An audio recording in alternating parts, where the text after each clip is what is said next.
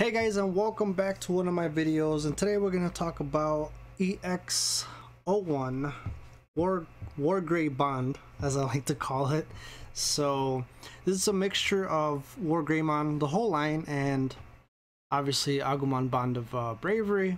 So we're just going to go ahead and break down this deck. So with these, uh, I changed it a little bit from the video that I did when I used it against the Bellstar and uh, the only two cards that I really changed were the, the Agumons and then the Greymons, which we'll get to in a bit. So let's start off right off the bat with the Digitama.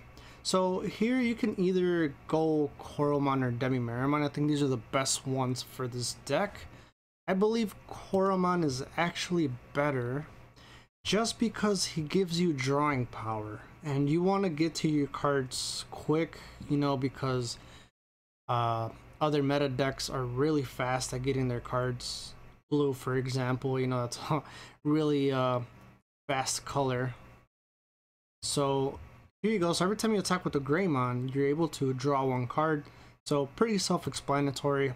Since most of your deck's gonna have greymon in it you're gonna be able to activate that effect and then just keep keep drawing.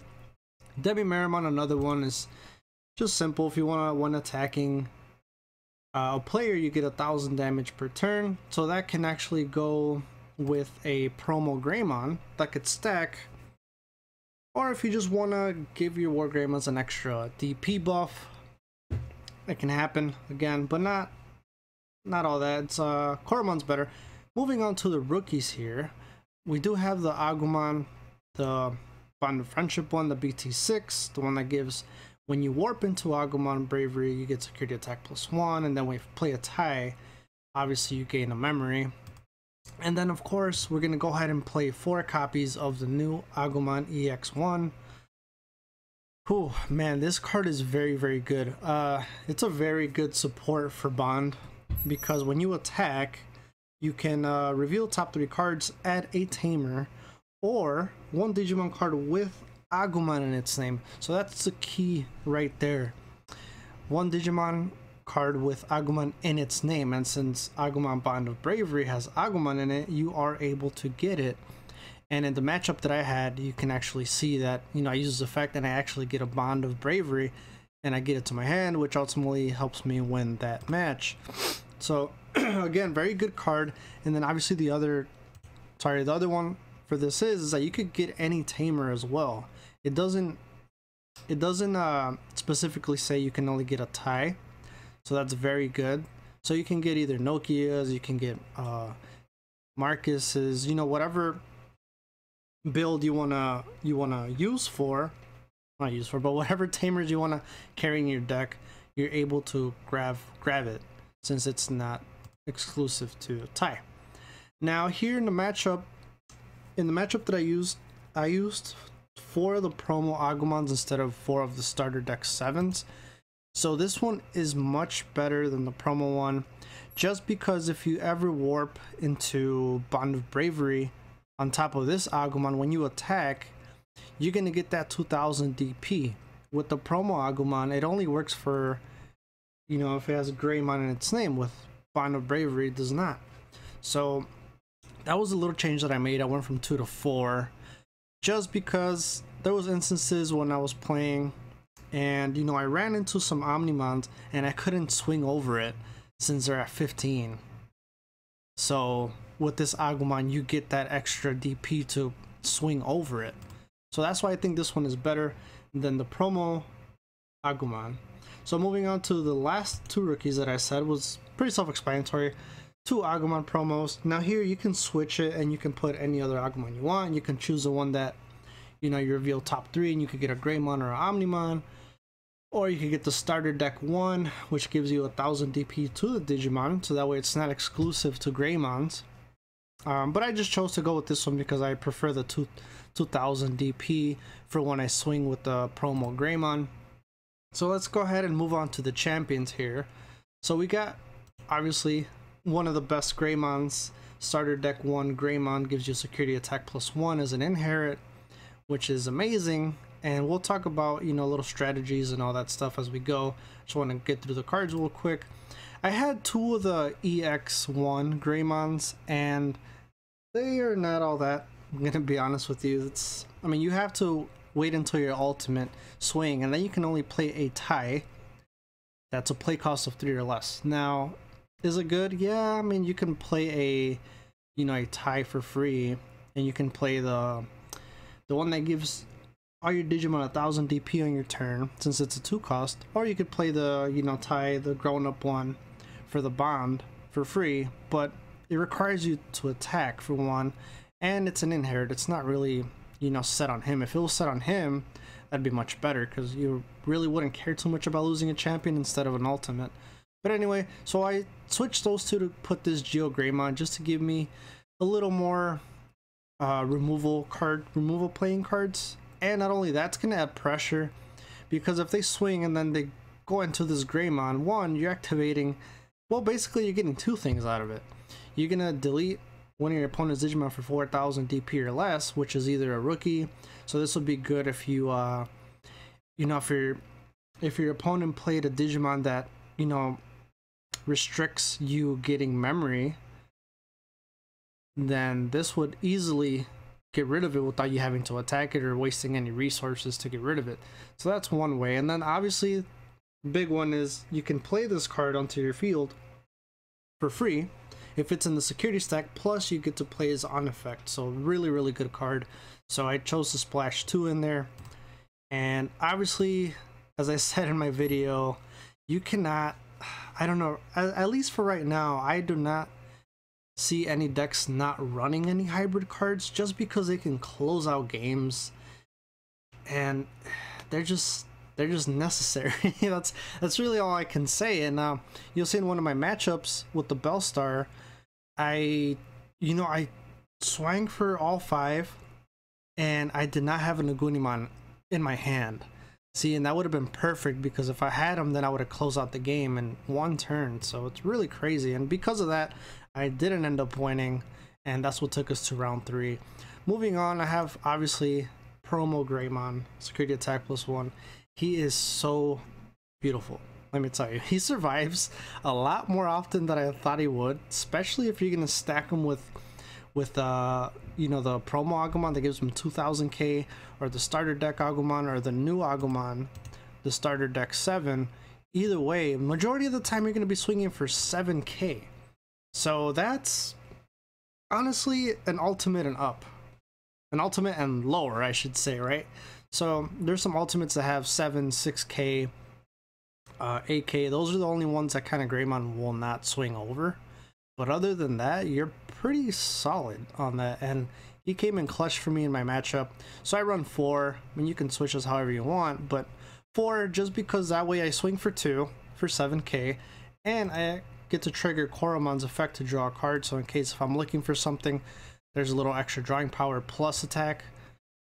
And uh, we move on to our ultimate here. I got obviously the new Metal Greymon, which is beautiful. And I can't wait to share the strategy. I actually played it out. And uh, it's just awesome. Talk about more removal.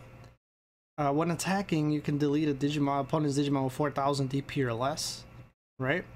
So now if you're attacking a Metal Greymon and you have any of the Agumons that give DP damage, you're attacking for 9k. So it's it's a good possible it's, it's a good possibility that you're going to survive attacking and deleting a Digimon on the field. So pretty good, pretty good. But the best thing this card has, in my opinion, is that he gives piercing as an inherit. And that becomes nasty. Let me tell you why. Because if you Digivolve on top into an Alterous mode, this Alterous mode now has piercing. So that is insane. So now you have an Alterous mode that has piercing, possibly a security attack plus one, and possibly, more than likely, getting 2k 2k DP. And not to mention, now you're gonna get an extra drawing, uh, extra draw for attacking. So now you're gonna have an Alterous mode that has piercing, security attack plus one, plus 2k damage. So now you're swinging for 10k and you can't be blocked because you have piercing. That's insane. Insane. Really, only a mega, mega or obviously option cards will delete your Alterous. So again, that's so that's why I run four and three of the Metal Greymons for the piercing. Just because if you I don't want to say if you brick, but if you're if you don't have a mega yet, you can keep going into Alterous, and he's gonna get himself stronger when you attack because you're gonna be getting 2000 DP, and um, obviously his effect's gonna trigger every time you digivolve on top, which ended up happening my third matchup. I actually insane first time ever it ever happened to me, but I ended up uh, stacking all four Alterouses in that matchup, and it was insane and it led up to me digivolving to the new War Greymon EX1. And when I swung with this bad boy, he was at he was at 20,000 DP. Insane. So moving on to the megas, right? We have our EX1, the new bad boy that just came out for the states. And I was a little skeptical. I was like, mm, okay, I mean, he has blitz, you know, he could close out games. But uh, he's actually pretty good. Pretty, pretty good. You um, give him piercing from Metal Greymon from the EX1. Excuse me. You have Alterous that gives him a buff. Obviously, security security attack plus one with the Greymon up there, all the DP, and then you uh, swing with the Koromon, get an extra draw. What makes this card great is the Blitz. So honestly, the Digivolution cost doesn't really matter in this sense because you're gonna be able to swing anyway. So that's what kind of makes this card good, is it doesn't matter if it goes over to your opponent's turn, you'll still be able to attack. Not only that, you have a secondary effect. When attacking, if you have a tamer in play, you can delete and oh, and you attack a uh, player. If you have a tamer and you attack a player, you're able to delete a blocker. So just in case you don't have Metal Greymon with piercing underneath, right? You can still delete a blocker so you don't get blocked since you have you're gonna have a tamer most likely and then you're gonna be able to swing potentially still winning the game if a blocker is stopping you so really great card i actually run three because man it was such a difficult decision for me not to run four so i did three and three because i wanted to test out the new war greymon now and i actually love it so i actually chose to keep this balance of three bt1 war greymons and uh, three of the new one just because option cards, man. Option cards, you know, there's such a big thing right now, especially with security control. And this card just is beautiful. You know, on top of when you digivolve, you get a security attack plus one. So now you get attack one from there, attack one from uh, Greymon. So now you're checking three cards. And you're not going to activate any security skills from any option cards, which did come in handy to me because I actually swung when I swung with this Bellstar. Uh, I clashed into a nail bone and it didn't activate it, so that was another body that I, you know, potentially could have had stacked up against me, but this card came in clutch for me. Again, checking three, not checking uh, option cards, potentially all this, uh, you know, DP damage added to them. So, you know, 2k from Alterous, 2k from the other Agumon, that's 14, that's 15 and then um, a 1k if you do have the Demi Meramon, which really doesn't really matter much, but be it potentially 15k. So really, only a bond could, could uh, clash against it, or a level 7 if you do have all that in play, which is pretty nasty. Pretty, pretty nasty. So, stuck at 3, and then of course you have your your Bob, Bond of Bravery, I did have four, but I brought it down to two just because you have the new Agumon that kind of um, you know use to kind of get it into your hand. The only the only thing that would suck with this is if it's in your security, if both of them are your security for some reason, and you're never able to get them in your hand. Uh, and then that's where you can run a Agumon Expert. I'd probably just run one so if you play it and it's on your great, uh, I was about to say graveyard. If it's in your trash, then you could play the Agumon Expert and get this back into your hand. So that's one way of kind of getting them back into your hand.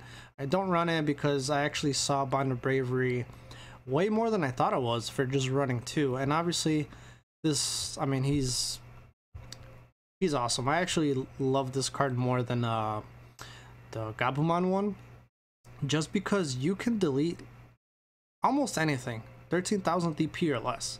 You know, with a Bond of Friendship, you can't delete level 6s. You can't get rid of Megas unless you swing into it. So it, that's kind of like the downside of it for this one. You're not only attacking, but you're also deleting something with 13,000 DP or less.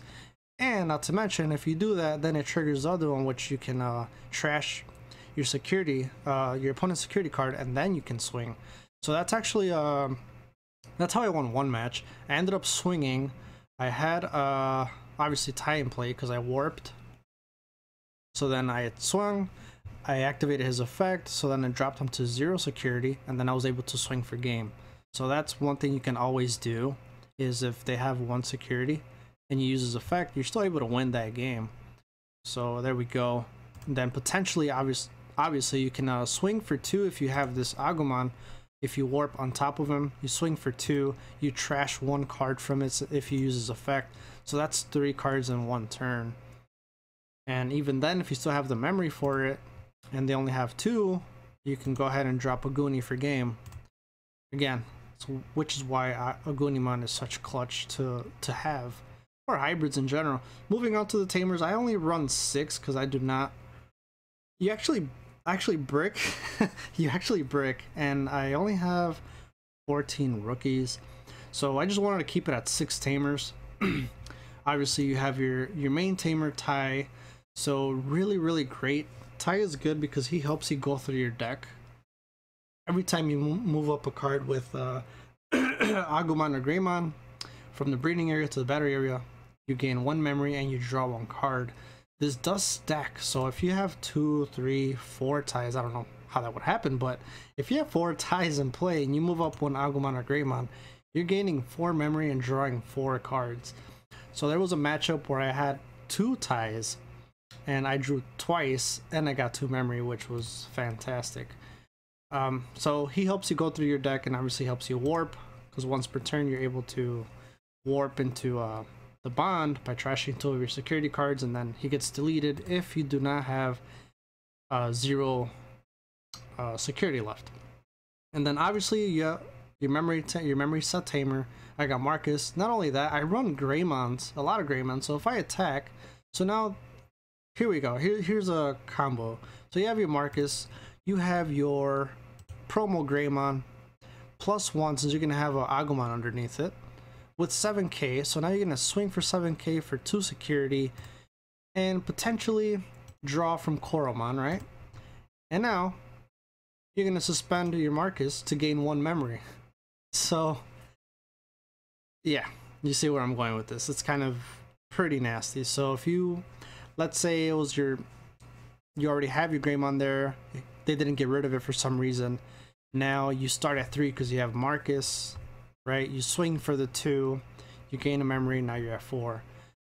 So again I just run two Marcuses. I do not want to have a lot of tamers.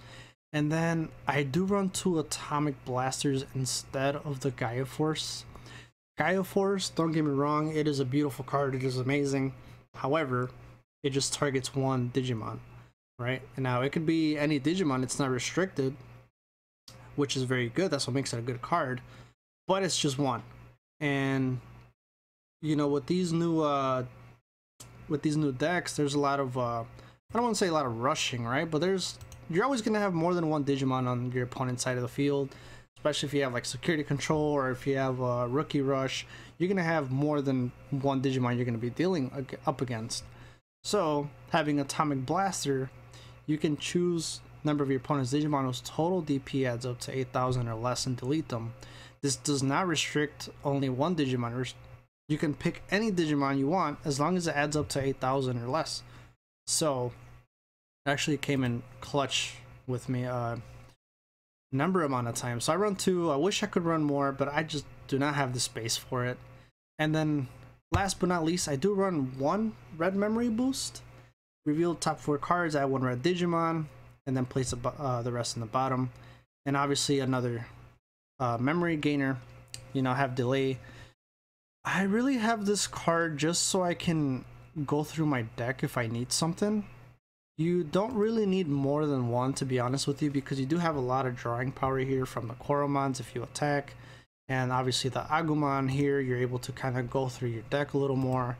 So you don't really need the two.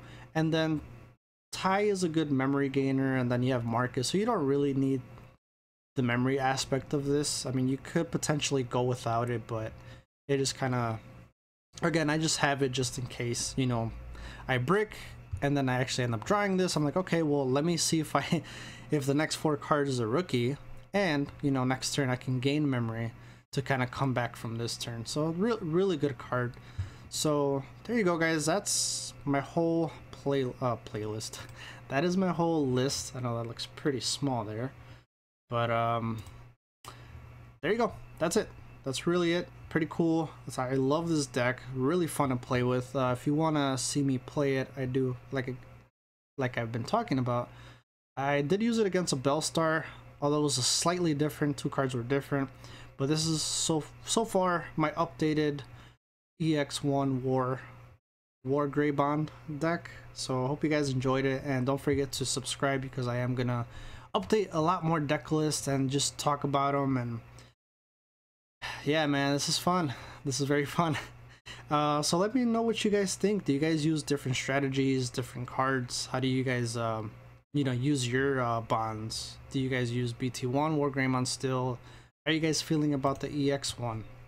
You know, let me know. Uh, and uh, as always, I will see you guys on the next video.